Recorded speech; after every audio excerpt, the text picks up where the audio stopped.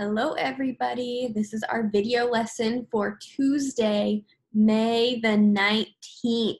This is our last week of video lessons, our last week of school. Can you believe that? I feel like this has gone by so fast.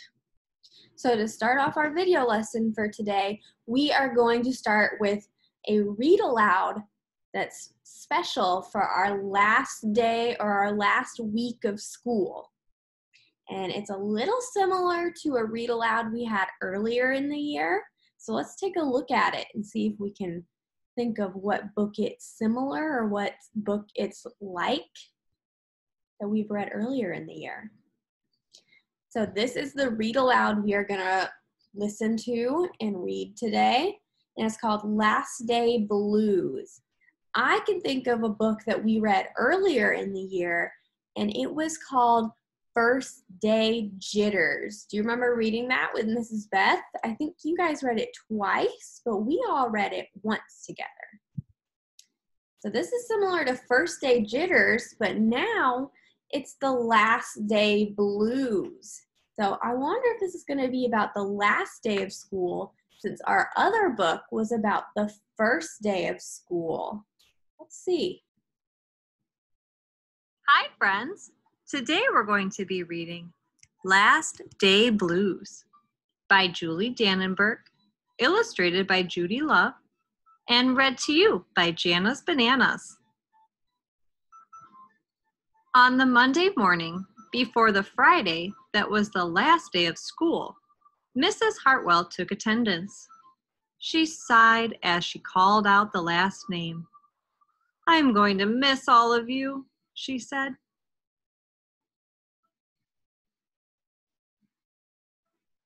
The kids nodded in agreement. I'm going to miss my friends, said Shannon. I'm going to miss Daisy, said Dan. I'm going to miss chocolate milk and pizza for lunch, said Joe. Everyone felt a little blue thinking about the last day of school, even Daisy. That afternoon, during recess, the students talked as they hung out on the jungle gym. Mrs. Hartwell said she's going to miss us, said Alexandra, swinging from a bar. We should get a present to cheer her up, said Eddie, hanging upside down by his knees. But what could they get her? I could give her the rest of my sandwich. It's my mom's bologna special, said Josh. Or a cup of coffee, or a new pen, the kind with feathers and beads. The students thought and thought, but couldn't come up with one single idea that they all agreed on. We'll think of something tomorrow, Eddie assured everyone as they lined up at the drinking fountain. On the Tuesday before the Friday that was the last day of school, Mrs. Hartwell read the final page of their last read aloud book. I'm going to miss circle time, said Mrs. Hartwell. I'm going to miss science, said Emily.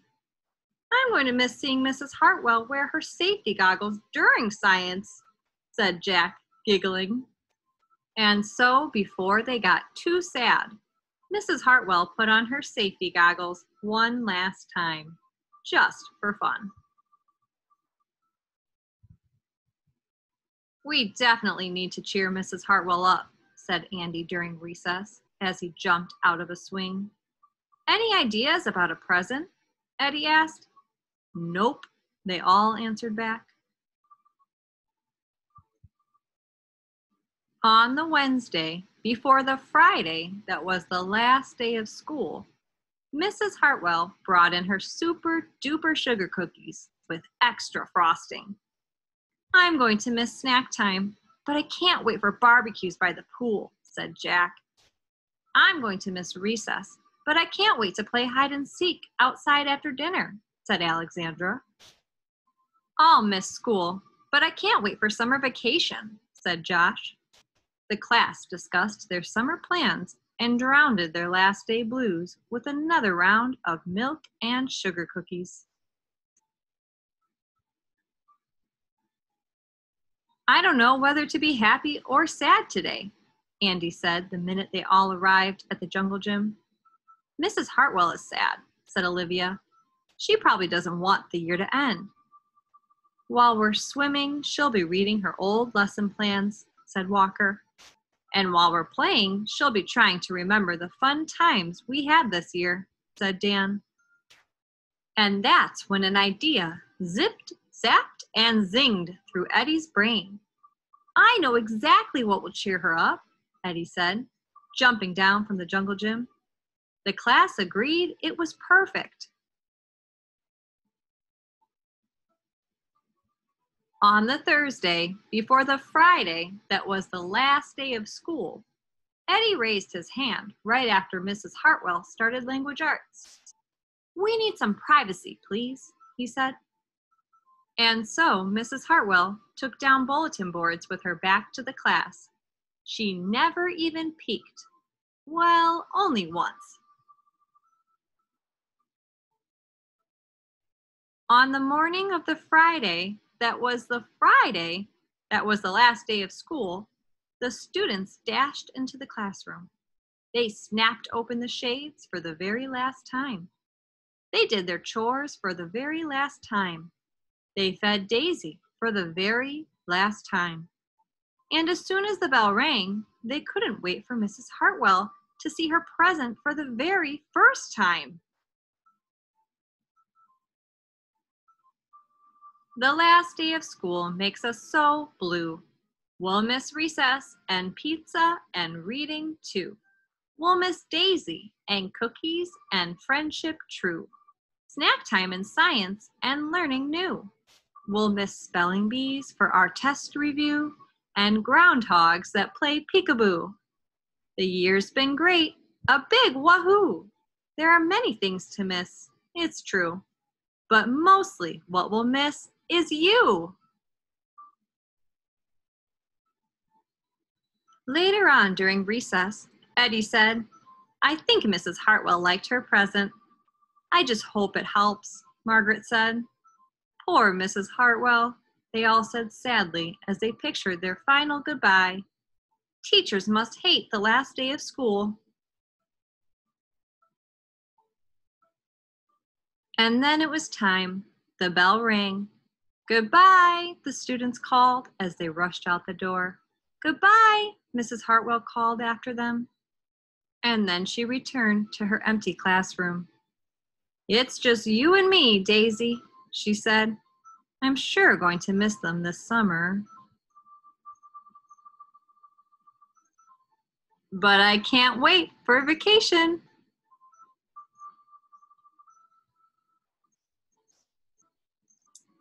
The end. All right, now that we've watched our read aloud, you are going to write four sentences about what you miss about school. So that could be what you miss about being at school since we've been learning at home. It could be something you're going to miss since this is our last week of school. You're going to write four complete sentences. That means capital letters and periods. Don't just write math. Don't just write reading. Don't just write going to recess. You need to tell me why you are going to miss it or why you already do miss it. Tell me what was fun about it. You need at least four sentences telling me what you miss about school. All right, so for our math this week, we are going to talk about some shapes. So we have some shapes right here, but these aren't just any shapes. They're not just like our squares or our triangles or our circles that we're used to. These are 3D shapes. And says 3D shapes are fat, not flat. So a 3D shape means a three-dimensional shape. So that would be something, a shape that you could hold or that you would see sitting out in front of you. It wouldn't be a shape just like on a piece of paper. It would be something that you could actually feel and touch if you have a square on a piece of paper, you can't feel that square. You can't feel the sides of the square. You can't feel the corners. You can just feel the paper that it's on. But if you had a cube, which is this shape right here, you can see it looks a little bit like a square, but it's got all these different sides and you can feel it if you had a shape that was a cube, you would be able to feel that cube. So this says a cube, and here's our shape again, is like dice you drop. So if you have a dice, that would be an example of a cube. You can feel all the sides, you can feel the edges on a dice. That's an example of a cube. I have a box right here and that is an example of a cube. I can feel the sides of it. I can feel the edges of my box. There's lots of different sides that I can feel. And it's got squares on each side. Each side is a square shape, but there's lots of different sides to it. So that makes it a cube. All right, let's look at some other shapes. So another 3D shape we have is a cone. And it says a cone, which is right here, is like a party hat. So if you've been to a birthday party and they had those little hats that you put on your head and it kind of looks like a triangle, but not really, right? Because it's not flat. That would be a cone. So a cone looks a little bit like a triangle. It's got that point on top and it's got a flat bottom but it's a little bit rounded, just like a party hat. So let's see if we can find some examples of cones. All right, so I couldn't find anything that was a cone in my house because I don't have any party hats. This is, I don't have a whole lot of these. I don't have a traffic cone, but we've seen these, right? We see them when there's a lot of construction, traffic cones. It's got a point at the top two slanted sides. It kind of looks like a triangle, but if you see a traffic cone, it goes all the way around, right? And it's got a flat bottom. It's not just flat on a piece of paper. We could actually touch and feel a traffic cone. So that would make it a 3D shape. Or an ice cream cone, and this one's upside down, the point's at the bottom here, but it's got a point it's got two sides. The bottom is a circle. Sometimes it could be a flat circle or just like the party hat. Maybe there's just a space for a circle. But when we have an ice cream cone, we can feel the whole thing, right? An ice cream cone's not flat. We put our whole hand around an ice cream cone. So that makes it a 3D shape. Here's another kind of hat. This is a little bit of a different cone. This is a little wider. Some more traffic cones, ice cream cones. So those are some examples of cones. Let's look at our next one. A sphere. This one's a little hard to say because we've got that SPH, which makes the f, f sound sphere. So maybe try practicing sphere a couple times. All right, here's our sphere. Now, this looks a little bit like a circle, but remember 3D shapes are not flat. A circle would be flat. 3D shapes are round. It's something you can grab.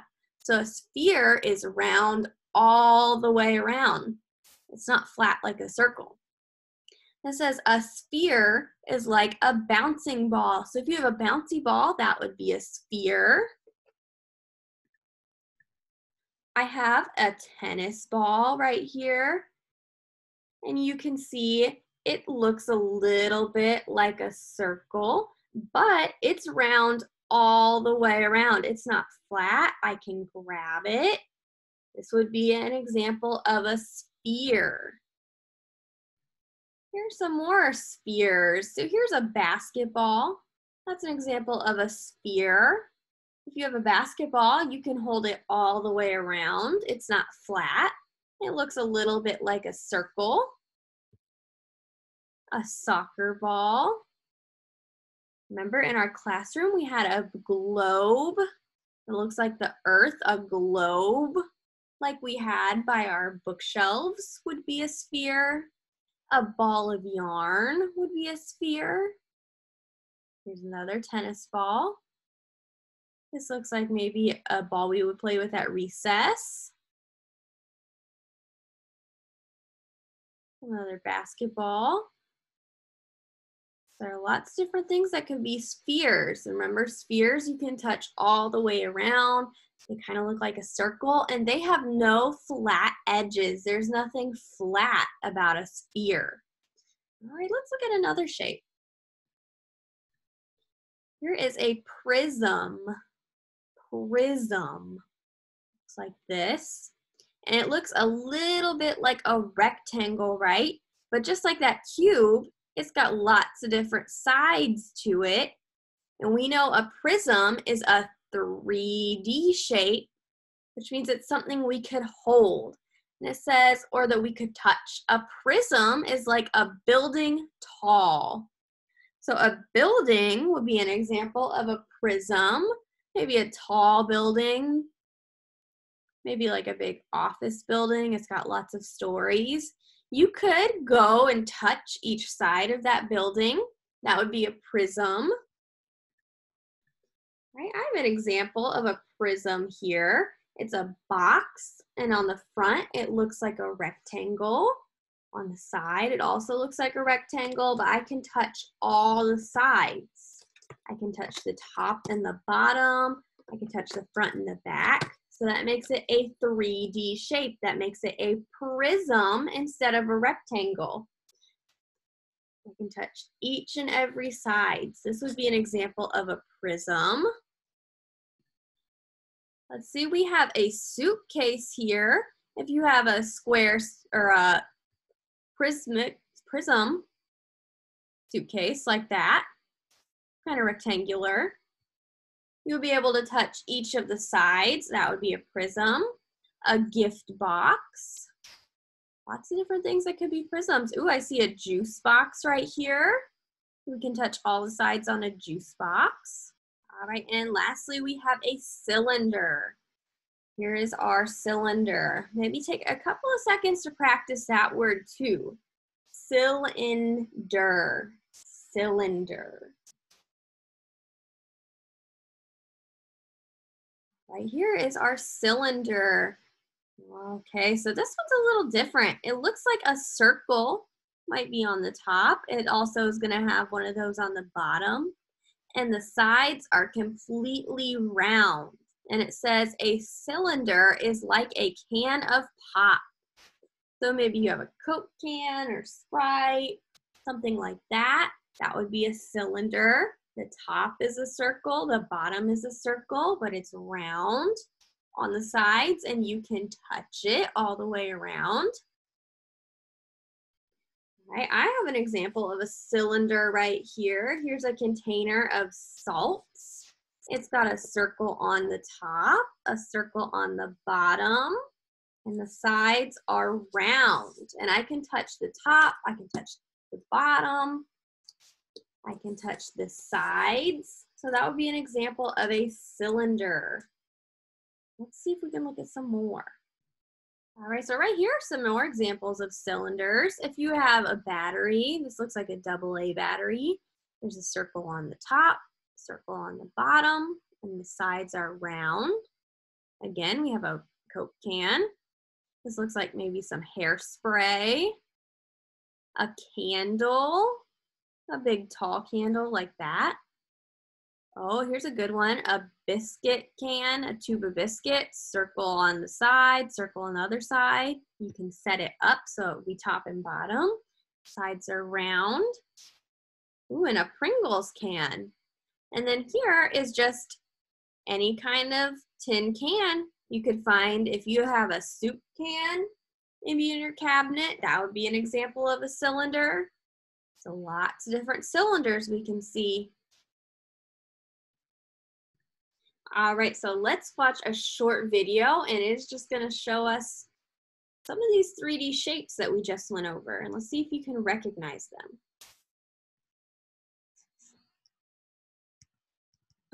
I'm a 3D shape expert. You are the 3D shapes that I know. A sphere, a cylinder, a cube, and a cone. Well, there's an extra one. There's an extra A shape in there. baseball, the moon. What are these examples have right of? here are all examples of a 3D shape that people call a sphere. A basketball, the earth, marbles I have here are all examples of a 3D shape that people call a sphere.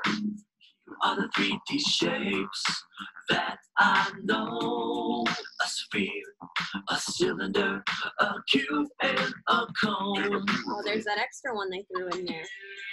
A soda can, a pencil Oh, in a can. What are these examples of? We just did it. examples of a cylinder, as you can plainly see. A marker, a glass of milk, and a peanut butter jar are all examples of a cylinder. Yes, I'm sure they are. Here are the 3D shapes that I know. A sphere, a cylinder, a cube, and a cone. An ice cube, a cardboard Are these box, examples and a Christmas of present what for shape? you are all examples of a 3D shape that people call a cube. My little dice, a sugar cube, and blocks that I use are all examples of a 3D shape that people call a cube. Here are the 3D shapes that I know. A sphere, a cylinder, a cube, and a cone. An ice cream cone, a pencil What are these examples and a of? Bag of over these two. are all examples of a 3D shape that people call a cone. A birthday hat, a traffic cone, or a funnel in my home are all examples of a 3D shape that people call a cone. Here are the 3D shapes that I know. A sphere, a cylinder, a cube, and a cone. All right, we're gonna stop it there because we are not gonna go over pyramids. All right, so you guys for your math assignment are going to find three examples of a sphere. A sphere. You can find three examples around your house. You can either take a picture of them or you can write down what they are and draw a picture of them.